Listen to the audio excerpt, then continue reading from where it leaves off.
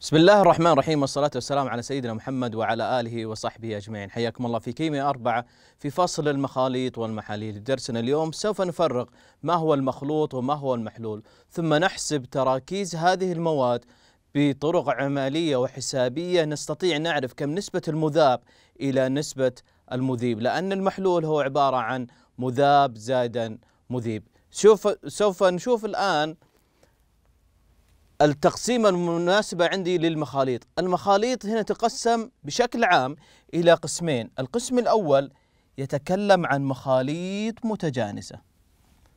مخاليط متجانسة. ماذا يقصد هنا بمخاليط متجانسة؟ المخاليط المتجانسة هي عبارة عن شيئين مع بعضهم البعض. تشوفهم أو بمجرد أن تشوف بالعين المجردة على أنهم شيء واحد. يعني مثلا لو وضعت السكر مع الماء وخلطت السكر مع الماء. تشوف أن تلاحظ أنه هذا عبارة عن ماء لكن في الحقيقة عند التذوق لهذا الشيء تجد أنه في طعم اللي هو حالي اللي هو طعم السكر الموجود معي. نفس الكلام اللي هو عبارة عن الملح والماء. لو وضعتهم مع بعض في بيكون لي اللي هو عبارة عن تشوفه كأنه محلول واحد لكن في الحقيقة هو عبارة عن شيئين. فالمحلول متجانس. المتجانس لازم هنا نتكلم نقول عبارة عن كلمة محلول. والتجانس ما هو المحلول المتكون منه؟ يتكون من حاجتين. هو عبارة عن مذاب زائدا مذيب. فمذاب وزائد مذيب. فنلاحظ أنا عندي الآن السكر عبارة عن مذاب اللي هو المادة الصلبة والمذيب اللي هو عبارة عن الماء. وهذا ينطبق على جميع الأشياء الموجودة عندنا هنا. فالآن كلمة محلول تنطق على الشيء المتجانس اللي تشوفه على أنه مادة واحدة فقط. فهو عبارة يتكون من مذاب زائدا مذيب. وأعطينا المثال هذا سكر زائدا ماء ملح زائدا ماء كلها تشوف على أنهم مادة واحدة. في المقابل في محاليل غير متجانسة. يعني أستطيع بالعين المجردة أشوف هذه المواد وأفرق بينهم بين. ما هي المواد؟ أنك تستطيع أن تفرق بين المذاب والمذيب. بينما في المحلول المتجانس لا استطيع أن افرق بين المذاب والمذيب. ولذلك تنقسم في المخاليط المتجانسه إلى مخلوط معلق ومخلوط غروي. مخلوط معلق ومخلوط غروي. مخلوط معلق لو وضعت رمل مع الماء تلاحظ طبقتين موجودة طبقة الرمل في الأسفل بينما الماء في تلاحظه موجود. وتلاحظ تستطيع أنك تفرق بين المذاب وبين المذيب بكل سهولة. المخلوط الغروي هو مخلوط قريب من المتجانس لكن هنا في ظاهرة بتبعد لنا المخلوط الغروي اللي ظاهرة اللي هو البراوني اللي موجود عندي اللي عبارة عن الإضاءة. فإذا اخترقت الإضاءة الموجودة عندي فيوضح لي هذا المخلوط اللي هو مخلوط الغروي. مثلا كمادة الصلبة الغبار في الهواء هذه عبارة عن مذاب في الهواء اللي هو عبارة عن مذيب. أستطيع أنك تحس بالغبار الموجود عندي. أحد المخاليط الموجودة عندي هنا اللي هو من مخاليط غرويه اللي هو الدم. ولذلك الدم يعتبر إنه مخلوط غير متجانس. ولذلك أستطيع أن أفرق أو أصنف الدم وأعرف فصائل الدم وأعرف الأشياء كلها الموجودة عندي في الدم. وذلك المخاليط تنقسم لقسمين متجانسة وغير متجانسة. دائما المتجانسه نقول عنها محلول بينما غير المتجانسه نقول عبارة عنها اللي هو مخلوط سواء مخلوط غروي أو مخلوط معلق. هذه بشكل عام.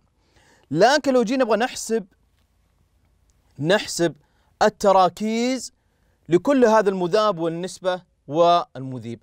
ولذلك سوف نمر على خمس قوانين بنمر عليها.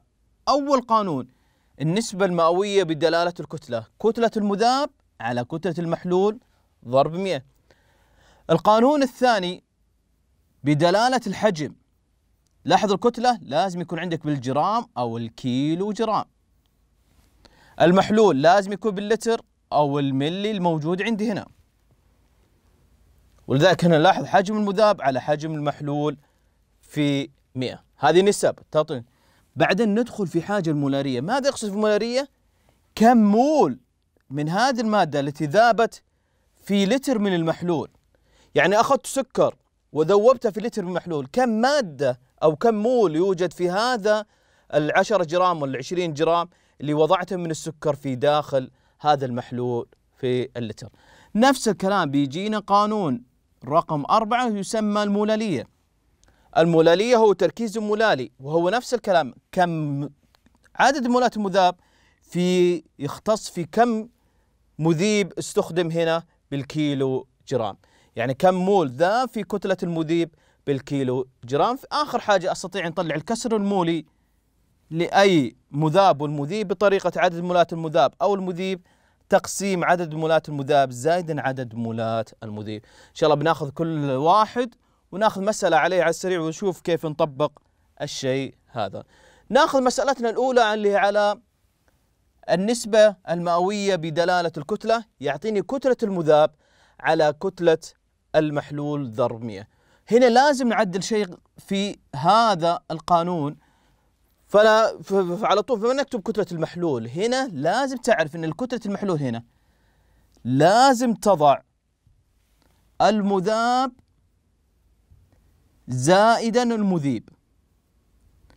لأن أغلب المسائل لن يعطيك المحلول مباشرة يعطيك بس كتلة المذيب. طيب كيف نطبق الكلام هذا يا أستاذ؟ شوف عندي السؤال 9 صفحة 56 يقول ما النسبة المئوية بدلالة الكتلة لمحلول يحتوي على 20 جرام من كربونات الصوديوم؟ يعني الآن أخذ 20 جرام من كربونات الصوديوم أو كربونات الصوديوم الهيدروجينية الموجودة عندي هنا ووضعها في 600 ملي في الماء. يعني أخذ بالشيء هذا ووضعه في اللي هو 600 ملي اللي هو عبارة عن ماء وضع اللي هذا الكربون اللي هو عبارة عن 20 جرام وضعه في 600 ملي فيقول لك كم نسبة تتوقع الكتلة هنا النسبة المئوية ذات الكتلة كم كان النسبة اللي وضعت هنا في داخل هذا المحلول أو ذابت في هذا المحلول؟ فبكل بساطة أنا بطلع النسبة الموجودة عندي وتساوي اللي هو من؟ كتلة المذاب على هنا كتلة من؟ ليس المحلول. هنا كتلة المذاب زائدا المذيب. لازم تضع الرقم هذا. بعدين أروح أضربهم في كم؟ في 100 وأروح أعوض تعويض مباشر عشان أطلع كم النسبة المئوية الكتلية الموجودة عندي. طيب أنا مباشرة أنا عارف هذا كم نسبة المذاب؟ اللي هو 20 لكن نبدأ الآن في الإشكالية. الإشكالية في هذا السؤال وين المذاب وين المذيب؟ المذاب هو 20 لكن المذاب أستاذ هنا أعطاني بإيش؟ بالملي. وهو يطلبني في السؤال بالكتلة. كيف أحل المشكلة هذه؟ هل أستطيع نحول من ملي لكتلة؟ لا. هنا لا تستطيع إلا إذا كان في وجود كثافة مادة والشيء لكن في شيء مميز عندي في هذه المادة. من هو هذه المادة؟ الماء. دائما تعرف إن الماء هو عبارة عن ماذا؟ إنك لو وضعت الملي في الماء خاصية في الماء. الماء الملي هو نفسه الجرام واللتر هو نفسه الكيلو جرام لازم تعرف هذه خاصية في الماء. لماذا؟ لأن كثافة الماء واحد فمهما حسبت بيطلع الشيء هذا. فمعناته مكتوب هنا 600 ملي معناته عندي 600 جرام. فمعناته 600 جرام. هذه خاصية فقط في من؟ في الماء. واستطيع اطلع الشيء هذا دائما في الماء. فمعناته لا تخاف من كلمة ملي إذا وضع للماء وفي مطلوب منه كتلة فأنت تستطيع أن تحول الملي لكتلة بكل بساطة تغير بس رمز الوحدة الموجودة عندي. فاروح أكمل هنا. بروح أكتب. المذاب مع المذيب. والله 20 زائدا 600 لأنك لو كتبت 600 لحالها هذا المذيب. هو المطلوب كتله المحلول كاملة. وأروح أضربهم في كم؟ في 100 ويطلع لك الناتج هنا. نسبة مئوية. تحسبهم حساباتك. تقسم 20 على 620 وتضربهم في 100 يطلع لك النسبة المئوية. أباك أنت توجد الحل. اللي موجود هنا. لكن أنا أعطيتك الفكرة الجديدة في هذا السؤال. نفس الفكرة لو أعطاني السؤال بطريقة أخرى. اللي هو على القانون الثاني. النسبة المئوية بدلالة الحجم. حجم المذاب على حجم المحلول في 100 ونعيد ونكرر. المحلول هو عبارة عن مذاب زائدا مذيب. لا ننسى الشيء هذا. نشوف نقرأ السؤال. من النسبة المئوية بدالة الحجم؟ الأول كان النسبة المئوية بدلالة الكتلة. لمحلول يحتوي على 35 ملي إيثانول مذاب في 135 اللي هو ماء. اللي هو عندي 155 ماء ملي راح يذوب يذوب فيه كم تقريبا؟ 35 فهو يقول كم النسبة تتوقع نسبة المئوية للحجم بالنسبة هذا المذاب بالنسبة لهذا المذيب فأروح احل مباشرة. أطلع النسبة هنا. حجم المذاب على حجم المذاب زائدا المذيب لازم تكتب الشيء هذا عشان ترتاح في الحل. وتضرب في كم؟ 100 وأروح أعوض تعويض مباشر. كيف أعوض؟ أروح أكتب كم حجم المذاب؟ والله يا أستاذ هنا 35 أروح أقسمه على 35 اللي هو المذاب. زائدا المذيب كم الموجود عندي؟ اللي هو 155 لأن هذا يطلع كله حجم المحلول ليس حجم المذاب فقط. أروح أضربهم في كم؟ في 100 يطلع لي الناتج اللي أبغاك. توجد أنت كم يطلع لي النسبة المئوية الموجودة عندي. فمعناته 35 على تقريبا 190 تضربه في 100 يطلع لي اللي هو كم النسبة المئوية بدلالة الحجم.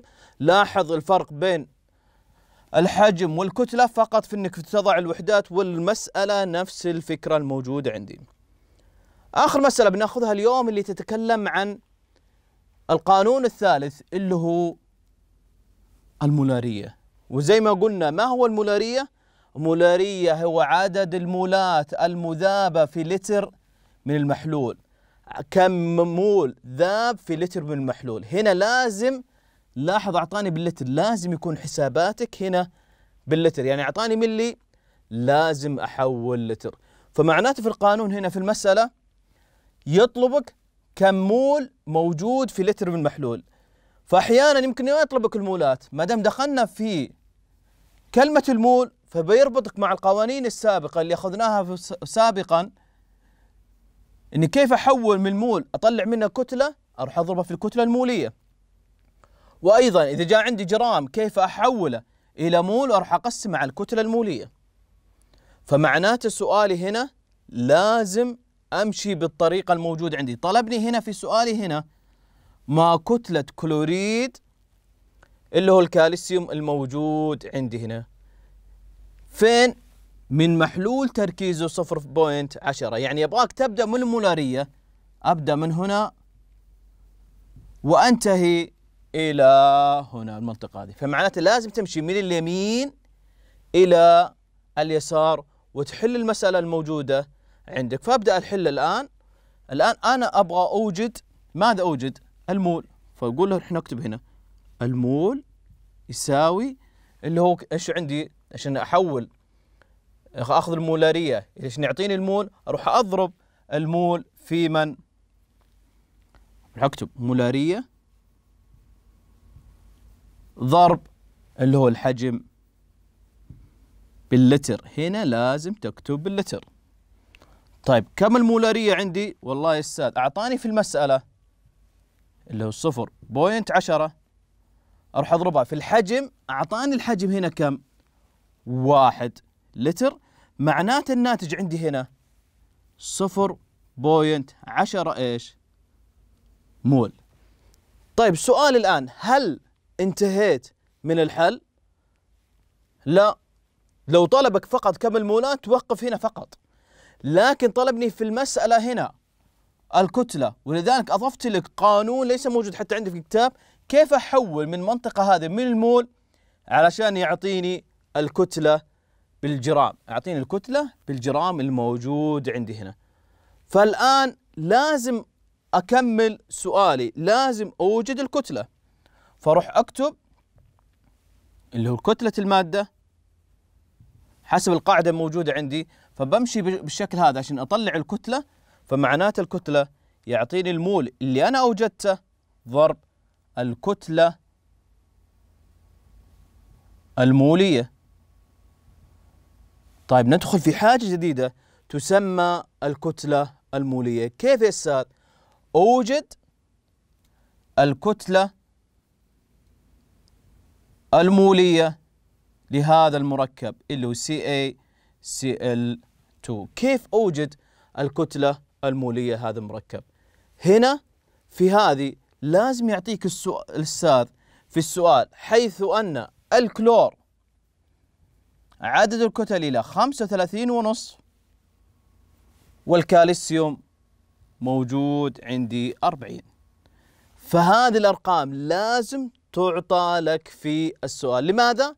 عشان أوجد الكتلة المولية فكيف أوجد الكتلة المولية؟ أروح في الهامش أروح أشوف عندي هنا أفتح لي قوس كم الكالسيوم؟ والله ذرة واحدة كم الكتلة عدد الكتل اللي أعطاني في الأستاذ؟ والله 40 انتهيت منه أسكر قوس أروح أجمع. مع العنصر الثاني اللي هو الكلور عندي ذرتين في كم؟ 35 ونصف اللي أعطاني الأستاذ. يطلع في النهاية لو جمعت 40 مع 71 يطلع لي 111 موجود. عندي طلعت اللي هو الكتلة الموجودة. عندي له كتلة كلوريد الصوديوم. طيب ماذا أعمل في السؤال هنا؟ أروح أحل مباشرة. كم المول اللي أوجدته هنا؟ صفر بوينت عشرة. أروح أضربه في كم؟ 111 اللي هو الكتلة المولية عندي. يطلع لي في النهاية تحسبهم أنت حسابيا يطلع لي كم الكتلة الموجودة عندي بالجرام. في هذا المسألة وفي المولارية لازم أركز في السؤال. من أين نبدأ ومن أين إيش؟ أنتهي. فبعض الأسئلة يطلبك تبدأ من المولارية وتنتهي إلى الكتلة بالجرام. وفي بعض الأسئلة يعطيك العكس. كيف أستاذ العكس؟ أبدأ من الكتلة بالجرام وأنتهي إلى المولارية. فمعناته هنا لازم أركز في طريقة الحل وطريقة السؤال خاصة في المولارية. لأن الجزء الثاني اللي أنا موجود عندي هنا ليس موجود عندي في الكتاب فلازم تضيفه أنت دائما في المولارية. فدائما أسئلة المولارية ليست مباشرة. كيف ليست مباشرة أستاذ؟